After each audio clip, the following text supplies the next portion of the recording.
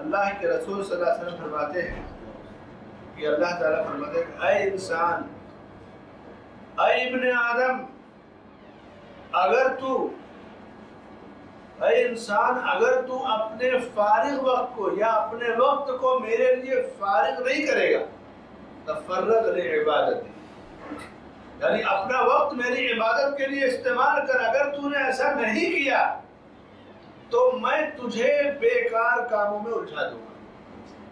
آج دیکھیے صورتحال کہ انسان کتنے بیکار کاموں میں الجھا ہوا ہے۔ عبادت کے لیے فراغت یا وقت کو عبادت میں لگانا، یہ ایک بوجھ ایک بوجھ ہو گیا انسانوں پر۔ اور اپنے وقت کو ضائع کرنا یہ ایک عام سی چیز ہے اور کوئی آدمی یہ نہیں کہے گا میرے پاس وقت نہیں۔ ہر آدمی کہے گا میرے پاس ٹائم نہیں وقت نہیں ملتا۔ کیا کرتے ہو؟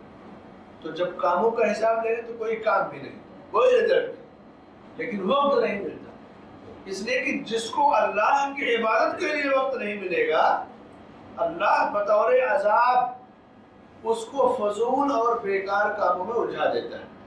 پھر وہ کوئی کام با مقصد نہیں کر پاتا۔ کیونکہ جو اصل مقصد ہے، اس کو جب نہیں کیا تو پھر وہ کوئی بھی ماں مقصد کام نہیں کر پاتا۔